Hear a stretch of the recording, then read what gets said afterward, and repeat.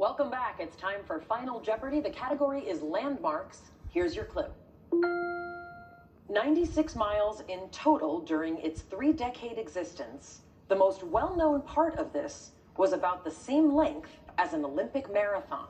You have 30 seconds. Good luck.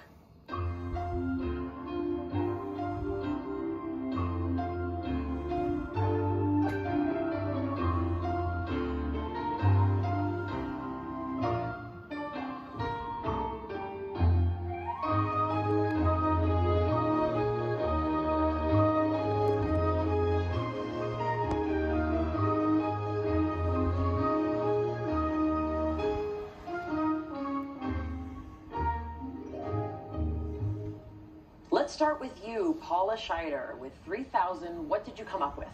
What is the Appian Way? Unfortunately, that is not correct. You wagered 2,999. That's going to bring you down to $1. All right, Christopher Stuckey, what did you come up with? What is the Appian Way? Let's see where that's going to take you. What did you wager? 5,000.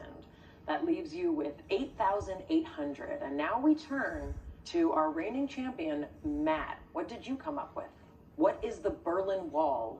That is correct. Between East and West Berlin, it's about 27 miles, and an Olympic Oh marathon is 26.2 my God. miles. What did you wager? $3,000. That brings you to 36,200 with a 26-day total of $929,401. Congratulations, Oh my God. I have Thank been you all for sitting.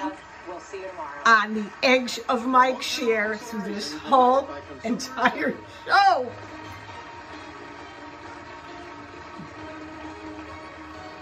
I missed my salad for you, Matt.